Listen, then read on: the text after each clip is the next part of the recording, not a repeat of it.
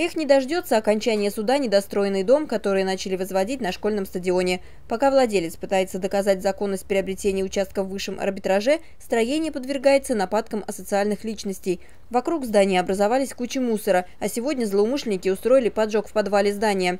Местные жители сначала пытались справиться с огнем сами, но в итоге все равно вызвали пожарных. Я цветы сажала, повернулась, все полыхает.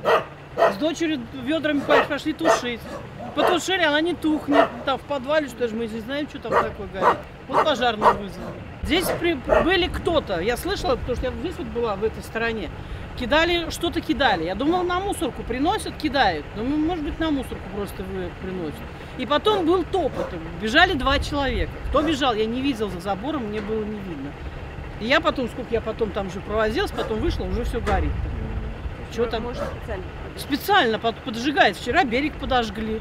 Вчера полыхало здесь. Видите, у меня весь двор в этом, как их, в этой гаре летело здесь все. Сегодня вот опять подожгли. То есть дом заброшен, никому не нужен, не строится ничего, в свалках кругом. Ужас какой-то.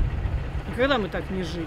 Напомним, судебные разбирательства по поводу продажи спортивного поля возле 10 школы идут уже не первый год. Согласно решению Балаковского районного суда, покупатели обязаны вернуть землю в муниципалитет, а это недостроенное здание снести. Однако разбирательства продолжились в высшем арбитраже, и пока школьное поле так и находится в подвешенном состоянии и привлекает внимание лишь пожарных, которые за два дня уже дважды приезжали тушить здесь возгорание.